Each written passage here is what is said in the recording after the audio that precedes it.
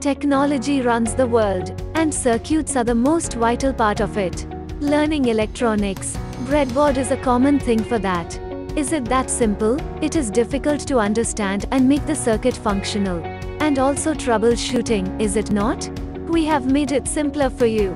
National Center for Flexible Electronics has developed Seekho-CirKit, an educational kit for paper circuitry. This portable kit comes with pair of pens, component connectors, a magnetic sheet and booklet containing circuits based on NCERT syllabus. You can take a piece of paper make circuits using these pens.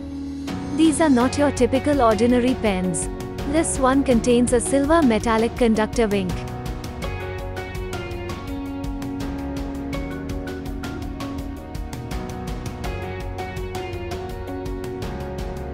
And this one contains resistive ink which makes them special.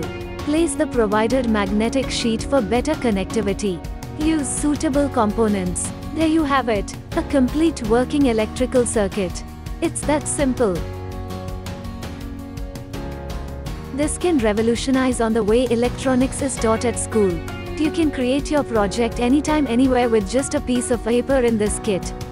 Circuits like series, parallel, capacitor functioning, two-way switch and also bridge rectifier can be made very easily.